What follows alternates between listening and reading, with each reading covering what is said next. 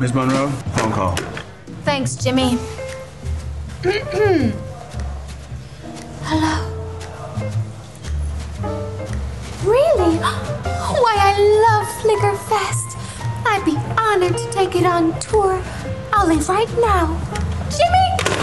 I've gotta go.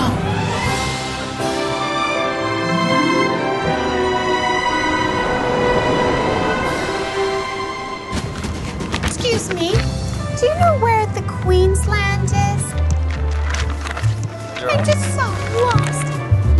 Oh, this side? You're out about here. Guys, I might have a situation down the south end, but I reckon I could pretty much handle this one myself. Are you right?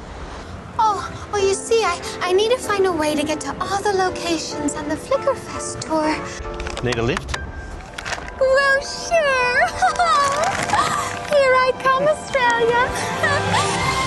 Flickerfest, touring the best short films from Australia and the world.